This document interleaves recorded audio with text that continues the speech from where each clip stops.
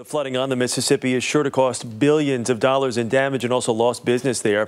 And diverting floodwaters away from New Orleans may not reduce the cost of this disaster by all that much. Let's look at the financial impact of the flooding with CBS News business and economics correspondent Rebecca Jarvis. Rebecca, good morning. Hey, Chris. Let's just talk about uh, this region and just how I, just how important it is to the national economy. Yeah, it's very significant to the national economy, and really for two reasons. First off, it's where a lot of our gasoline comes from. 13 percent of the nation's energy sources coming from this part of Louisiana. One in nine gallons of gasoline that we use in this country every day comes from this part of the country. In addition to that, though, there's a lot of ships that pass through, for example, the port of New Orleans on a daily basis. From 12,000 ships on an annual basis go through here with 500 million tons of cargo. 700,000 cruise ships attendees go through that part of the country as well. So it is very significant not only to our gasoline, but also to other national national industries. A lot of people, when they think refineries, they're thinking Texas down in an area, but Louisiana, lots of refineries. It's number two. It's number two in the country with refineries. And as far as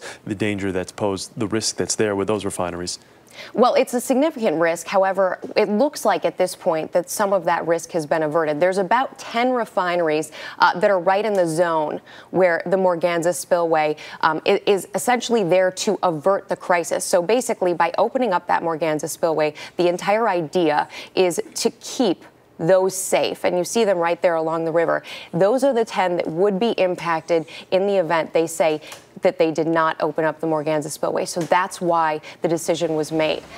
Okay, so you've got all these folks that uh, are, are going to, to look at this as, okay, we're saving the refineries and some of the shipping is going to be okay, but folks in the river basin can't be overlooked because all that water is that's being, that's being diverted. Uh, I mean, farmland and other homes in some of these smaller towns are now going to be under 20 feet of water for what they say could be weeks. That is the significant part of all of this that, that's the big concern because obviously we're looking at hundreds of millions of dollars worth of damage to farmland. We're hearing from corn farmers in the area who have not been able to plant their seedlings. You could also see in this country, as a result of all of this, corn prices going higher. All right. CBS's Rebecca Jarvis. Rebecca, thank you.